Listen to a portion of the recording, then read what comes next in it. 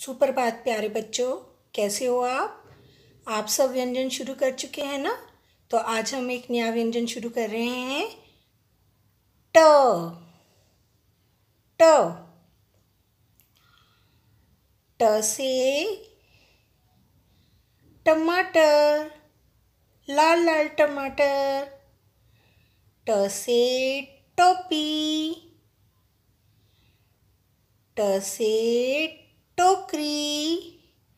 तो चलो शुरू करें। आपने दूसरे लाइन से शुरू करना है। सबसे पहले स्लीपिंग लाइन फिर एक छोटा सा वन बनाना है। और फिर उसके नीचे सी ट से टोकरी। एक बार फिर देखो। स्लीपिंग लाइन छोटा सा वन। और इसको आपने सेकेंड लाइन से टच नहीं करना। और उसके नीचे सी ट से टोकरी। धन्यवाद।